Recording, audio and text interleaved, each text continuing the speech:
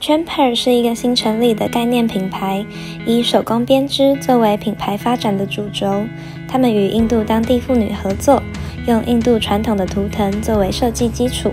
并加以改良，制作出多款精美又实用的电脑包、地毯等商品外销台湾。在这样的合作下 Tramper 提供给当地许多没有经济基础的妇女工作机会。让印度的妇女能在手作过程中经济独立，看见自身价值。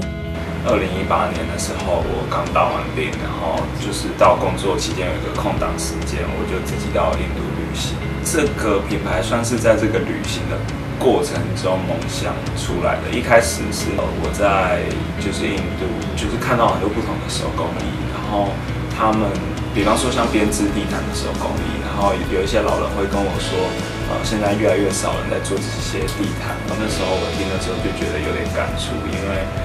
我我其实对手工艺就还蛮情有独钟吧。然后觉得他们背后有很多故事，或者说一些文化。然后所以那时候就开始会觉得，哎，有没有机会可以跟他们一起合作，才会就是萌发成立这个品牌的想法。在印度，男女不平等的问题很严重。黄启佑等人发现这样的状况，于是与当地的非营利组织合作。希望让当地妇女可以有实现自我价值的管道。我们后来成立工作坊，是跟失去丈夫或者是离婚或者是呃没有嫁出去的妇女们一起合作。然后主要都是没有一些经济基础或没有技术背景。那我们成立工作坊，可以培训他们，然后让他们在这里制作我们的包包、衣服。与 Champer 合作的元老级妇女中，有一位单亲妈妈，她常常带着女儿到工作室。后来女儿考上大学，一样会到工作室一起工作。女儿很开心能够自己赚取学费，也希望未来能像黄启佑等人一样，将手工艺发扬光大，同时也提供工作机会给他人，改变他们的生活。